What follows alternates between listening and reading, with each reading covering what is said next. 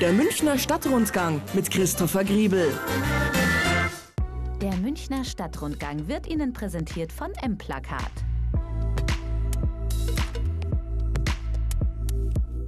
Damen und Herren, ich begrüße Sie heute beim Lok Arrival. Das hört sich zwar irgendwie so nach Bahnsteig an, Lokomotive Arrival, also so Abfahrt, Ankunft, aber es ist ganz anders. Die junge Dame hier neben mir, rechts neben mir, Mira Walter, ich habe den Namen richtig ausgesprochen, ähm, ist eine Dame, die äh, als Berufsinhalt eigentlich hatte unbegleitete junge Flüchtlinge zu versorgen. Oder wie muss man das richtig vorstellen? Was haben Sie gemacht hier? Genau, also wir haben die Lok Arrival gegründet, hier auf dem Gelände von der Bayern-Kaserne 2014. Und ursprünglich war die Idee, dass die unbegleiteten minderjährigen Geflüchteten, die hier in der Erstaufnahme untergebracht waren, einen Ort haben, wo sie ihre Freizeit gestalten können. Ah ja. Also grundsätzlich ist unser Team ähm, sehr sensibilisiert auf Themen wie ähm, Traumata, Fluchtsituationen, Fluchthintergründe. Viele Schulungen mussten dafür stattfinden. Aber auf der anderen Seite sind die geflüchteten Kinder und Jugendliche Kinder Kinder und Jugendliche, wie alle anderen auch, die haben Spaß an Fußball, die haben Spaß an Spielen, an Kreativsein, an sich ausleben, an sich ausprobieren. Und äh, dementsprechend ist die Arbeit einfach ein Stückchen niedrigschwelliger, wegen bestimmten zum Beispiel Sprachbarrieren oder anderen Hürden, aber eine ganz normale Kinder- und Jugendarbeit an sich. Die kamen ja auch aus völlig verschiedenen Kulturkreisen. Die eine aus Afghanistan, ne? Osten, die anderen aus Afrika. Da liegen ja teilweise Welten dazwischen. Aber das hat keine Probleme da gemacht, oder was? Also für uns im Jugendtreff hat es sehr selten Probleme gemacht vielleicht mal in einer hitzigen Situation, wo Fußball gespielt wurde und die einen gegen die anderen. Also unser Jugendtreff, die Lok Arrival, das ist eine alte Fahrzeughalle. Ähm, die, die Hälfte des Raumes besteht aus einem Fußballfeld ah. und die andere Hälfte des Raumes besteht aus einer Sitzecke, einer Kreativecke, was für kleinere Kinder zum Spielen, Tischtennisplatten, ähm, Kicker, es gibt einen Billardraum mhm. und wir hatten einen riesigen Hof zur Verfügung. Ja, ja. Das war die alte Inst ganz da hinten rum, gell? so an der Heidemannstraße, Ecke, genau. Einfahrt. Genau. Eure Industriepark. Diese ja, alten Fahrzeuge, die haben so riesige Türen und äh, man konnte echt Türen, zack, zack, zack. Mhm. Ja, davon, du kannst nichts kaputt machen, das ist der Vorteil. Ja, ja, du kannst nichts kaputt machen und du hast einen extrem hohen Gestaltungsspielraum. Also wir haben da regelmäßig die Wände bemalt, neue Graffitis an die Wände gesprüht. Wir haben unsere äh, Möbel für die Garten haben wir selber gebaut und äh, das hat allen ziemlich viel Spaß gemacht, das mitzugestalten. Und heute nun, Damen und Herren, ist der letzte Tag. Sind Sie traurig? Ja, das ist eine schwierige Frage. Das ist eine sehr schwierige Frage, tatsächlich. Ich habe mir da auch selber Gedanken drüber gemacht und es ist auch in unserem Team so ein bisschen eine Frage, wie geht es uns damit? Auf der einen Seite, ich bin jetzt seit 2016 hier im Team und es hieß schon damals, als ich eingestellt wurde, die Lok Arrival wird am Ende des Jahres schließen die Finanzierung hört auf.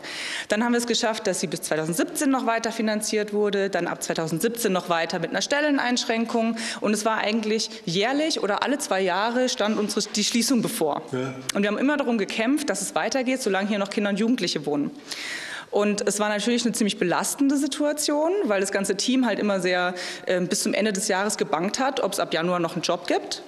Auf der anderen Seite ähm, haben wir halt auch den Wert unserer Arbeit gesehen. Solange hier Kinder und Jugendliche wohnen und leben, die unsere Unterstützung brauchen können, wollten wir diese Unterstützung auch bieten.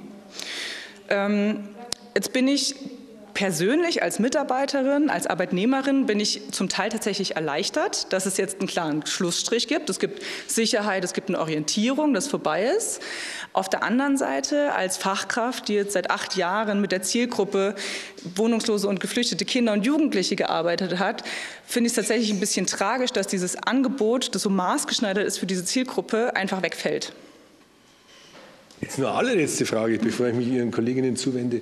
Es ist ja so, dass diese Jugendlichen oft aus Kulturkreisen kommen, wo die Frauen eigentlich nur dazu da sind, um den Dreck wegzuräumen und zu kochen. Hat man da irgendwie dann einmal Probleme gehabt, sowas mit äh, ja, Kompetenz jetzt weniger, aber mit Hierarchie oder sowas? Haben die einer gefolgt, die Burschen? Die Burschen? Die Burschen aus dem also, fernen Osten und aus Afrika. Ja, ich glaube tatsächlich, ähm, dass es gibt natürlich Kulturkreise, da ist die Frau nicht hoch angesehen. Aber das sind Menschen, die kommen hier nach Deutschland und die möchten hier Fuß fassen. Die möchten sich gerne hier in die Gesellschaft integrieren, die möchten einen Arbeitsplatz finden und die möchten natürlich auch daran arbeiten, dass sie hier gut ankommen und dass sie hier ein gutes Leben führen können. Da gehört vielleicht auch ein Umdenken dazu. Das ist aber den meisten durchaus bewusst. Also anpassen konnten sie sich. Ja, außerdem, wie gesagt, wir machen hier eine offene Arbeit. Ja. Und unser Team, SozialpädagogInnen, bestehen zum größten Teil aus weiblichen Mitarbeiterinnen. Und ähm, wem das nicht gut gepasst hat oder wer da irgendwie eine Kompetenz nicht anerkannt hat, der ist dann halt auch natürlich nicht mehr gekommen. Also dementsprechend. Woanders hingehen und was anderes hat es nicht gegeben, oder? Das ist doch unterm Strich hat er keine andere Chance gehabt, oder? Ähm, also wir machen Alternativen zu dem, was Sie hier gemacht haben? Also nicht auf dem Gelände der Bayern-Kaserne. Okay. Im Stadtweit auf jeden Fall. Es gibt total tolle Projekte, ähm, die sich mit verschiedenen Bereichen äh, beschäftigen. Kreative Arbeit, Fotoworkshops, Sport, alles Mögliche. Aber auf dem Gelände der Bayern-Kaserne, diesen Jugendtreff, den wir hatten, der war tatsächlich europaweit auch einzigartig. Jetzt lassen wir ein Schlusswort stehen. Der Jugendtreff auf dem Gelände der Bayern-Kaserne, Lock Arrival, war einzigartig. Hoffen wir, dass hier wieder so was zusammengeht, weil solche Einzigartigkeit, das passt gut in den Münchner Norden. Wir scheinen es ein bisschen weiter, bleiben Sie uns gewogen, erfahren Sie noch mehr über Lock Arrival.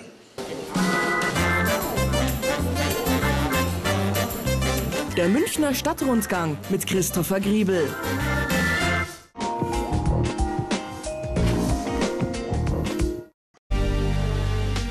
Die Anzahl und Professionalität von Cyberangriffen nehmen immer weiter zu. Selbst die besten technischen Sicherheitskonzepte bieten keine absolute Sicherheit. Wer die Chancen der Digitalisierung für sich nutzen möchte, der muss auch die damit einhergehenden Risiken managen. Schützen Sie Ihr Unternehmen durch professionelles Cybersecurity Management. Informieren Sie sich jetzt unter www.cyberriskagency.de. Hey Leute, ihr wisst ja, ich schaue Fernsehen immer mit Waipu TV und ihr solltet das unbedingt auch mal probieren. Darum schenkt euch Waipu TV jetzt ein ganzes Jahr Fernsehen. 250 Sender mit HD und allem drum und dran. Hol dir jetzt den Waipu TV 4K-Stick mit einem Jahr Fernsehen geschenkt. Und für kurze Zeit sogar mit einem Jahr Paramount Plus. Jetzt auf waipu.tv.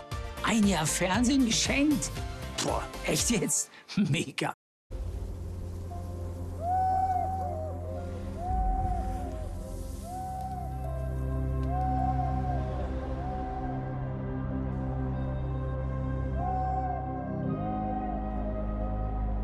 Es ist soweit. Alpachtal. Das ist Tirol. Weihnachten. Zeit für große Glücksgefühle. Neben Plätzchen backen und Geschenke besorgen darf ein kleiner Vorgeschmack aufs Fest nicht fehlen, oder? Dafür gibt's jetzt die Los-Adventskalender von Lotto Bayern. Mit verschiedenen Motiven. Für Lose zum Aufreißen oder Lose zum Rubbeln. Da ist für jeden was dabei. Welches Motiv? Welche Lose? Du hast die Wahl. Momente voller Glück. Lose und Kalender gibt's nur in deiner Lotto-Annahmestelle. Lotto Bayern. Nimm dein Glück in die Hand.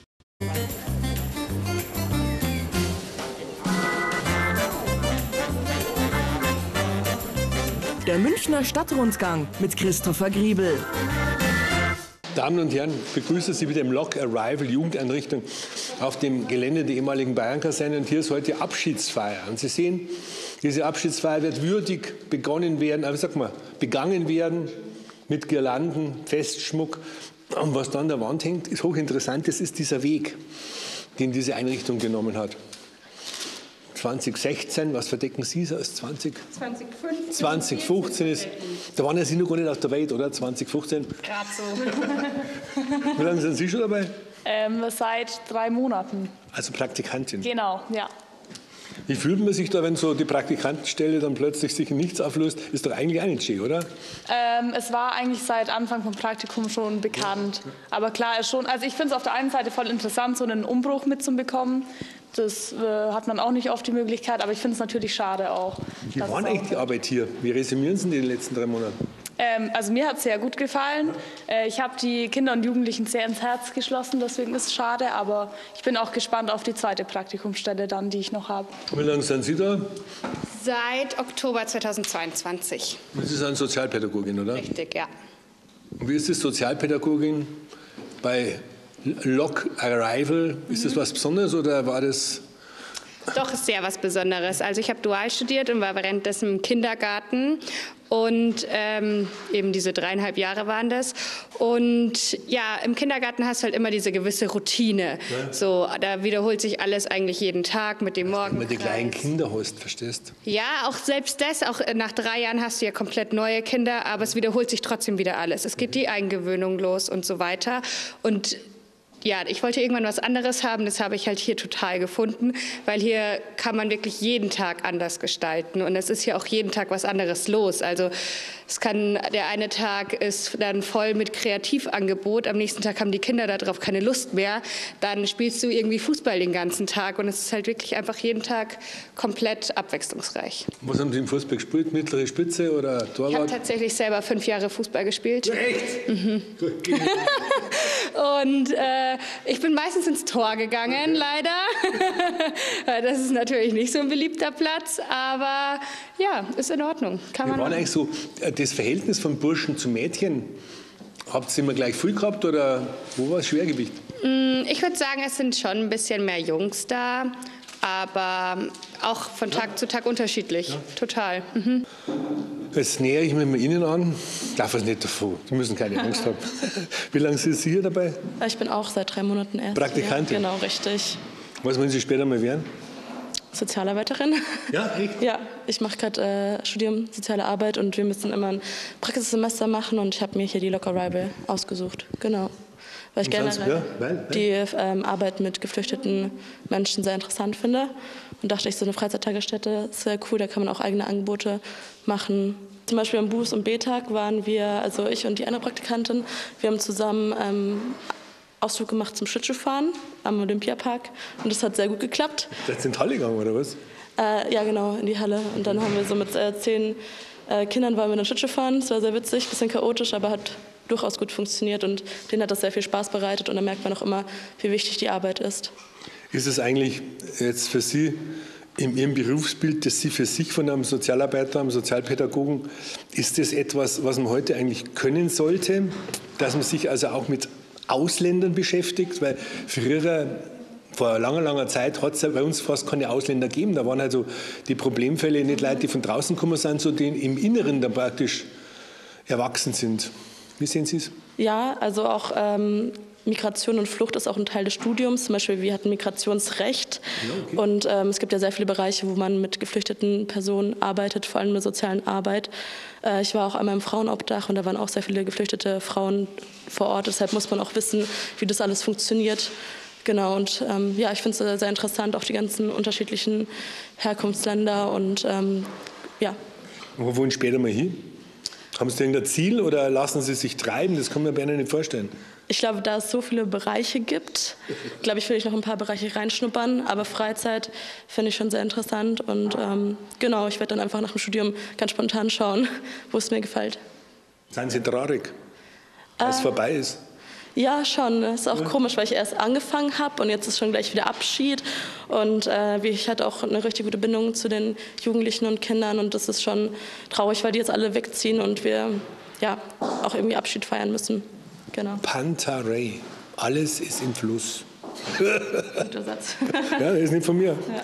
Also, Damen und Herren, das war heute so ein kleiner Ausflug zum Log Arrival äh, in die Bayernkaserne dass also heute seine Türen schließt.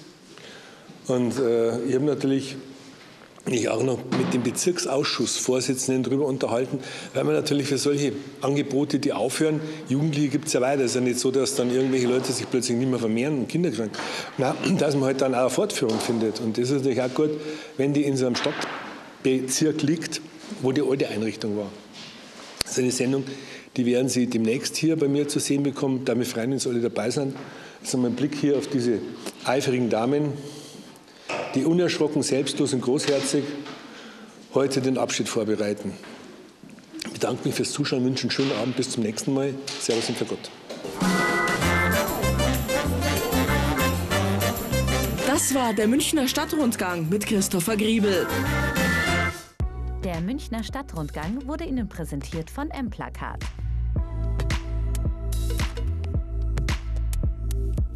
Der Wirtschaftstreff Bayern wird